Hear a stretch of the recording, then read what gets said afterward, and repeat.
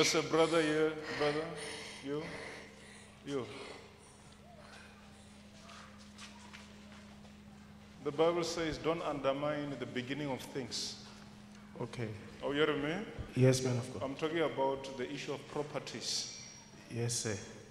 the selling of houses. Yes, man of God. Oh, you hear me? Yes, sir. Because I saw you trying to sell houses, but some of them is like the old houses. Yeah. You hear me? Yes, sir. This, I want you to, to pray more because God can lift you up with, because of this. Yes, sir. Oh, you hear me? Thank you, It, Jesus. it looks like it's something very small. Some people can undermine it. God can give you this business, property business. Amen. Thank you, And Jesus. I believe God will do it. Thank you, Jesus.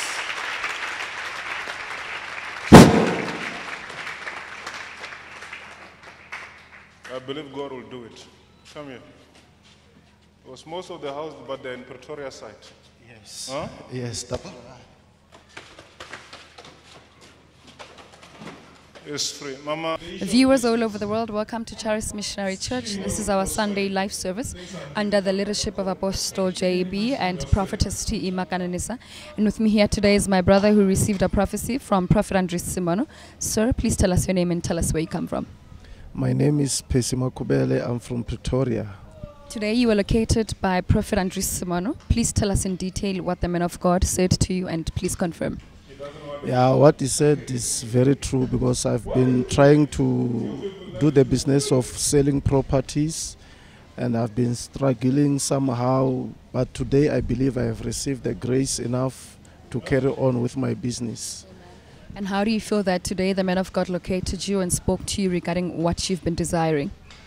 I felt so powerful because even when he speak, even he come near me, I realized that there was something that was hindering my business. But today, I thank God of Charis for the grace.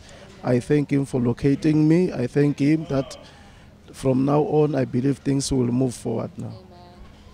And what words of encouragement do you have for somebody who's currently watching this?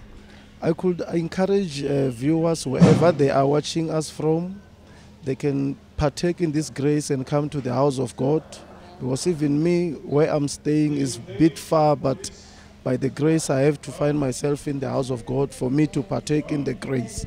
So I encourage you, viewers, wherever you are, you can make that sacrifices, find yourself in the house of the Lord, so that you may be delivered for your for your career, for your assignment, and for whatever you want to do in the future.